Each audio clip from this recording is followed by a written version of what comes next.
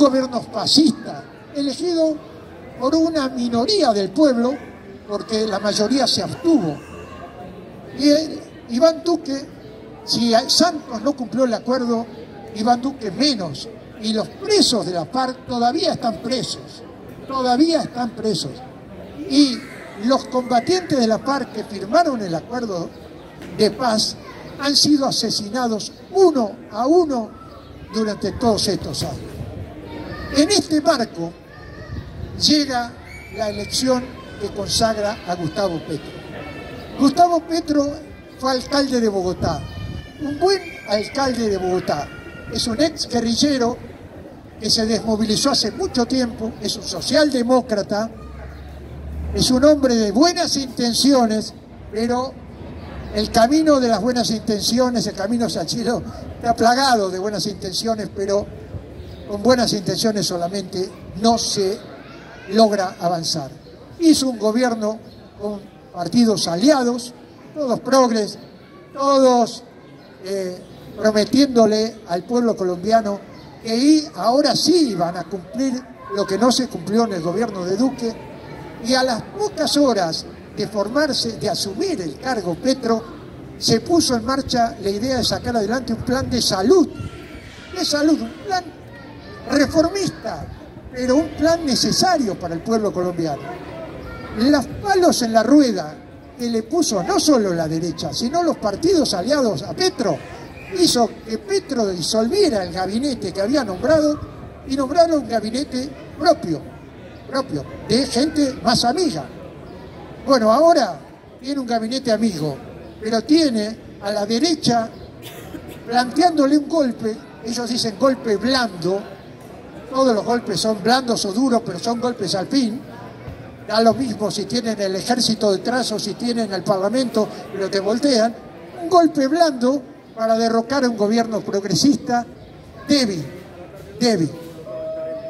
Hoy Petro está negociando con el Ejército de Liberación Nacional, que es la guerrilla, una de las últimas guerrillas del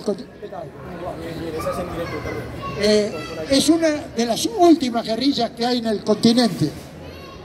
Y se ha firmado un cese del fuego. Pero el ELN no se equivoca, como se equivocaron la FARC, y plantea que no va a entregar las armas hasta que no esté proclamada realmente la justicia social por la que se lucha. Porque a ver, compañeras y compañeros, cuando uno decide tomar el camino de la lucha armada, nosotros venimos de experiencia de lucha armada en Argentina, lo hacemos porque lo hicimos, porque estaban cerradas todas las vías pacíficas para hacer lo que nos impusimos como izquierda revolucionaria, que era hacer la revolución. Una palabra que está, parece, bastante devaluada en los últimos años, pero que no hay que perder el concepto de revolución. Entonces, nadie va a la lucha armada porque sí.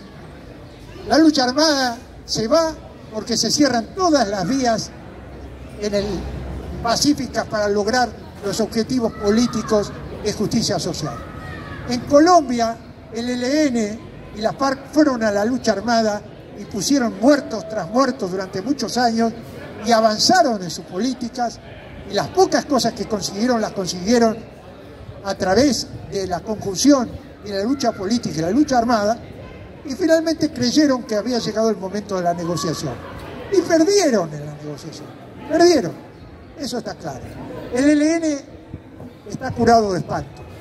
Va a negociar la paz, pero va a negociar, como lo dicen los comandantes del ELN, con la inclusión de los sectores sociales que son los que viven la tragedia de la crisis económica que vive Colombia y de la tragedia paramilitar que vive Colombia. Entonces las armas no se entregan, lo dice el comandante del ELN, Antonio García, hasta que no se cumplan esos objetivos. Mientras tanto, Podrá haber acuerdos bilaterales de cese al fuego, podrá haber avances en lo social, si hay avances en lo social se irán haciendo concesiones, porque cuando uno negocia se entiende que hay que hacer concesiones de ambos lados.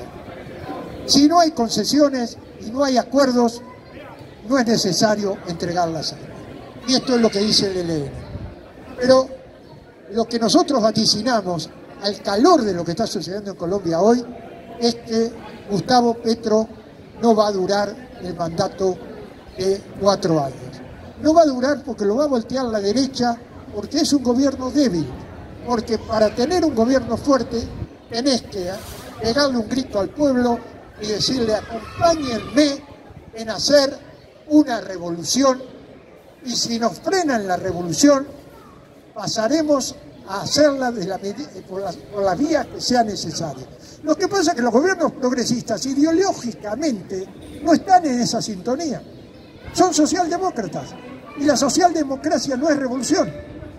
Desde Marx en adelante se sabe que la socialdemocracia no es revolución, el reformismo no es revolución. Los reformistas, los socialdemócratas, son los que sin ningún tipo de prejuicios apoyan a la OTAN en Europa para luchar contra la Federación Rusa. Todos ellos, todos ellos, lo estamos viendo en Euskal Herria y lo hemos visto en toda Europa, se arrodillan frente a el discurso de la OTAN. Entonces, ese discurso es el que estamos combatiendo de la manera que podemos en cada uno de nuestros países. Y esto es lo que yo quiero transmitirles, compas.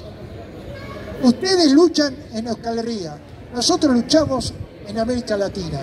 La lucha es una sola, porque el enemigo es el mismo.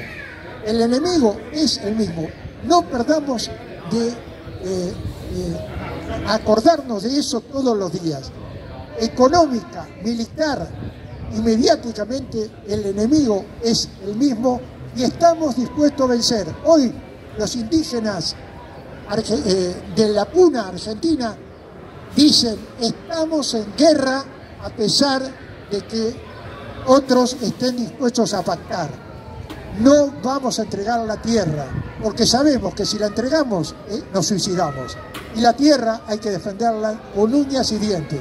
Si entregamos territorio, si entregamos la forma de cultivo, si entregamos nuestros bosques, si entregamos nuestros ríos, nos estamos suicidando. Y eso es lo que hay que defender.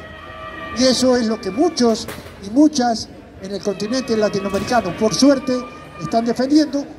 Como no me cabe la menor duda, aquí también, aunque estemos en tiempos de paréntesis revolucionarios, no debemos olvidarnos que el verdadero cambio es hacer la revolución.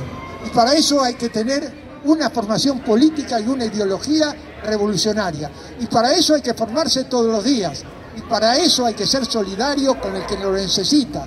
Hay que ser guevariano en el concepto revolucionario, que quiere decir, yo pongo el cuerpo primero para dar el ejemplo y yo pienso en otros compañeros que están sufriendo en otras partes del mundo y siento las injusticias como propias. Gracias, compás.